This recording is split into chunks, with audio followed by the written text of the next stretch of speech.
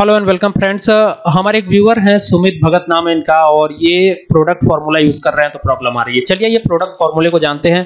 कोई भी फार्मूला छोटा नहीं होता। अगर आपने सीख लिया तो वही चीज़ छोटी हो जाती है, और अगर आपने नहीं सीखा तो वही चीज़ बड़ी हो जाती है।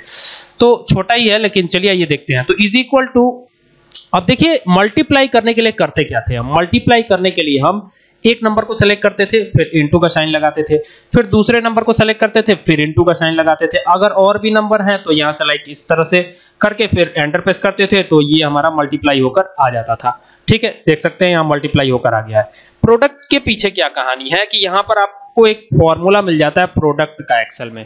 तो ये प्रोडक्ट लगाइए और जितने नंबर हैं एक साथ सेलेक्ट कर जाइए। ठीक है? इसको बंद करिएगा तो ये आंसर दे देगा आपका। ठीक है, अब यहाँ पे कैलकुलेट कर लीजिए थ्री टू जा सिक्स फाइव जा और पूरा कैलकुलेट कर लीजिएगा एटी फोर हंड्रेड ही आएगा। ठीक है, अब यहाँ पर बात कर लेता हूँ इज़ इक्वल टू बीच में ब्लैंक कॉलम हो तो क्या होगा?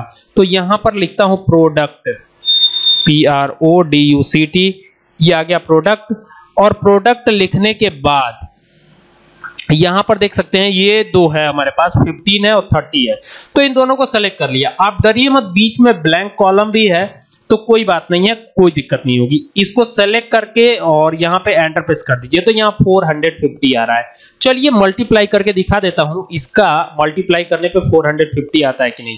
तो ये देखिए, यहाँ पे इनटू का साइन लगाइए और यहाँ पर और एंटर प्रेस कीजिएगा तो 450 ही आएगा। यानी कि ब्लैंक कॉलम को ये अपने आप अवॉइड कर देता है। आपको दिक्कत नहीं होगी और कॉमा लगा करके भी कर सकते हैं। कैसे करेंगे? आइए दिखा देता हूँ। P R O D U C T इस तरह से प्रोडक्ट फॉर्मूला लगाइए और प्रोडक्ट फॉर्मूला लगाने के बाद इसको सेलेक्ट कीजिए, ठीक है? अब मान लीजिए एक डाटा यहाँ पे है तो इसको सेलेक्ट कर लीजिए।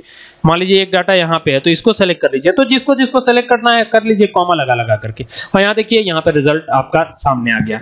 तो आई होप की बात समझ में आ गई होगी कि ये प्रोडक्ट फॉर्मूला काम कैसे करेगा। काम तो मल्टीप्लाई का ही करेगा, लेकिन कैसे करेगा, ये बात समझ में आ गई होगी। तो thank you for watching this video